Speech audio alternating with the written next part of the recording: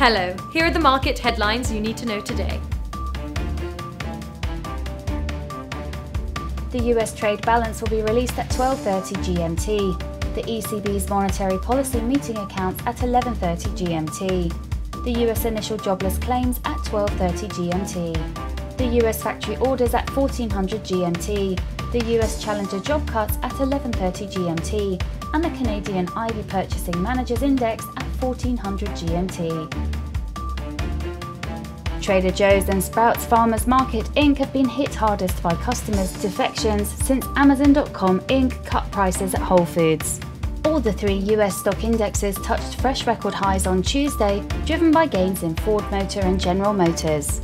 Oil's extended speculative long positioning feels the heat as crude runs out of momentum, falling 2%.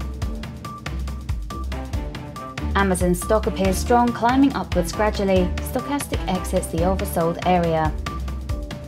The euro dollar pair continues to point downwards. The CCI is signalling sell. Stochastic is showing a bearish bias. The sterling dollar pair is showing some bearish movement. The ROC is showing a bearish bias and the RSI is signalling sell. The Aussie dollar pair dropped to fresh session lows, and according to the Commodity Channel Index, we may continue to see further depreciation. That rounds up today's market review. Be sure to check iForex's future updates and other financial services.